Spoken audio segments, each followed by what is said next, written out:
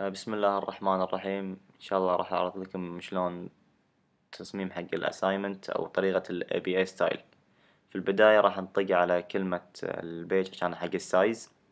مثل ما طقيت على كلمة ال A4 لأن الدكتور طالبه مني هذا الشي ثاني شي بعدين راح تختار عشان حق ال header وال page. تطق على كلمة ال header وتختار ال text اللي يبيه. فتكتب ال text يكون capital letter كل ال topic يكون capital letter بعد ما نخلص من ال topic راح نطق على كلمة ال number ونخليه بال right عشان يكون يمين الصفحة. وبعدها راح نضغط على كلمة okay.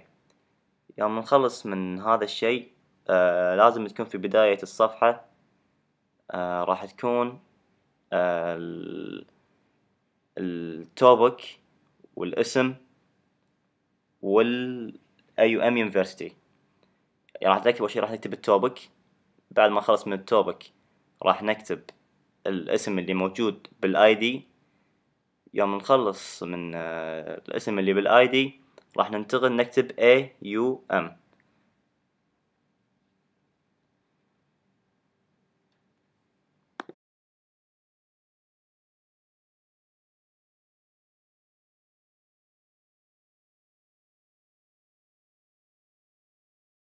ما نخلص من أول صفحة راح ننتقل حق الصفحة الثانية.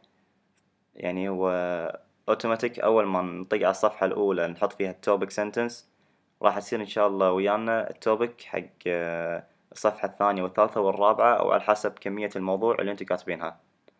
بس أنا طبعا ما صار وياي فراح تكتبونه انتو مرة ثانية إذا طلع عندكم.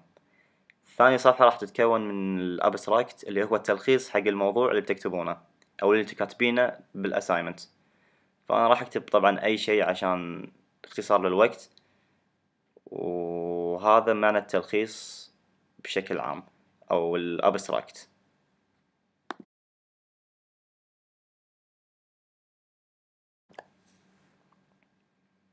وطبعا راح أحدد على ال...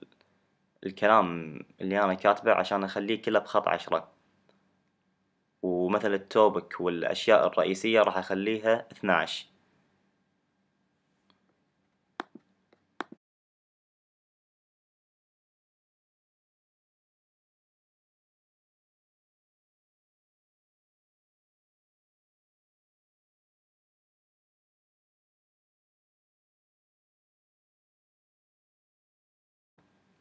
وطبعا راح ننتقل حق صفحة الموضوع اللي انتو كاتبينه بال assignment راح نكتب أول شي الموضوع topic آه، أول أحرف تكون capital letter أما باقي الأحرف لا عادي.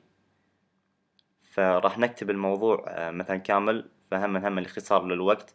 راح نكتب أي كلام أو أي شي عشان نختصر الوقت.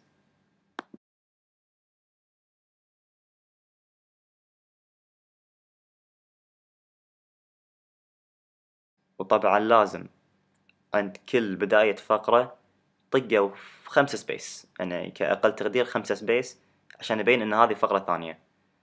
ولازم تخلون بين كل فقرة وفقرة تقريبا خمس أسطر أربع أسطر اللي اللي يريحكم. بس أهم شي إنه يكون بداية الفقرة فيها خمس مسافات على الأقل. والحين راح ننتقل حق صفحة الصفحة الأخيرة اللي هي صفحة آه، الرفرنس صفحة الرفرنس راح أحط لكم إياها اللي هي راح يكون من الكتاب. أنا ماخذ الرفرنس من الكتاب. وحطيته عندكم مني عندكم بالوورد عشان اللي بيستفيد منه أو اللي بيأخذ منه شي شيات. هذا إن شاء الله راح أحدد لكم عليه. راح أخليه عشرة. وراح أخلي البداية راح تكون اثناعش عشان يبين إنه هو يكون رأس الشي هذا. و وطبعا لازم تحددون الكلام اللي بالموضوع وتخلونه مس... مسافة بين كل سطر وسطر اللي هو اثنين بوينت. نفس ما قام أسوي لكم اياه الطريقة حاليا.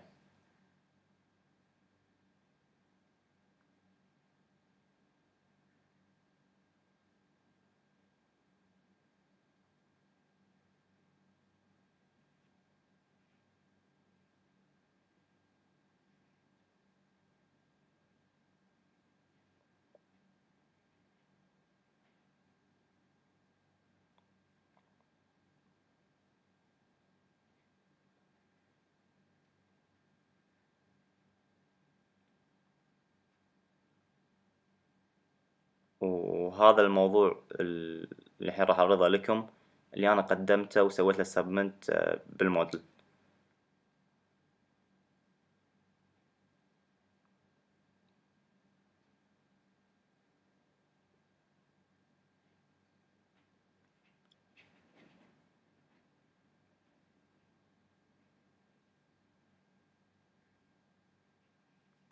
وبالأخير يعطيكم العافية على المشاهدة. وأنا غير مسؤول عن أي غلط أو أي شي كان بالموضوع أنا ما سويته أو أيا كان أنا اللي علي إني وصلت اللي أعرفه ويعطيكم ألف عافية على المشاهدة.